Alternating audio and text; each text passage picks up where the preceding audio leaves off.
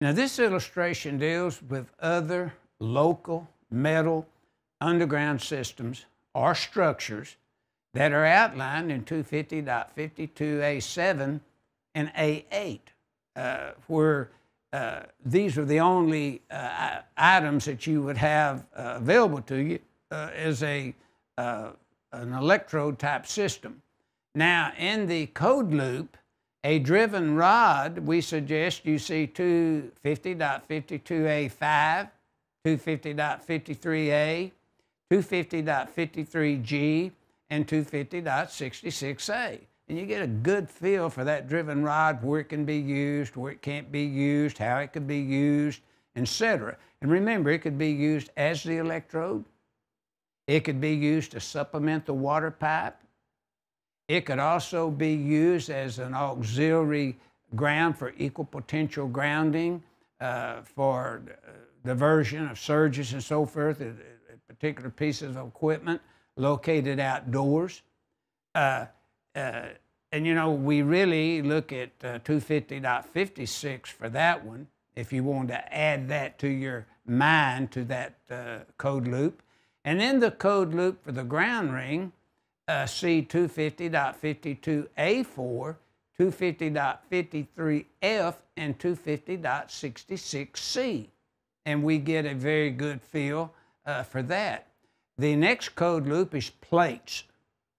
And 250.52A7, 250.53H, 250.66A handles that.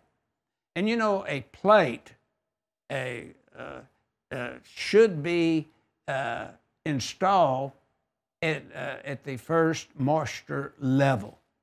Uh, you know, so usually they say rock will hold good moisture above that, so you put it there. Clay, where you had sand maybe turn into clay.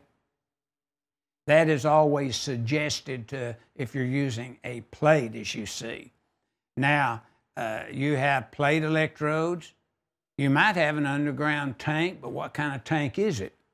You'd want to check with that and see does it have gasoline? What kind of tank is it that you have there?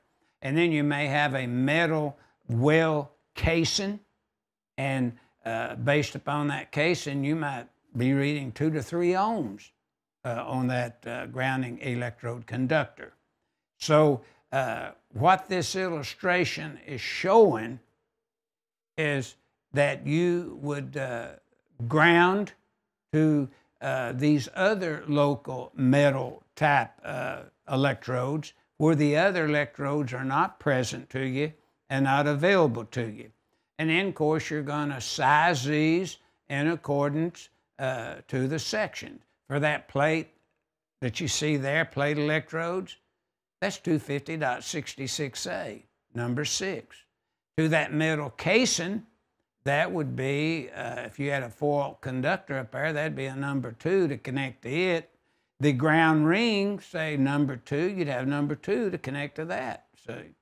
So, so again, it depends on how these electrodes are present, and then are you bonding them together, and then that would determine what would be the size of your uh, uh, bonding jumper or grounding electrode, depending the type of system that you had.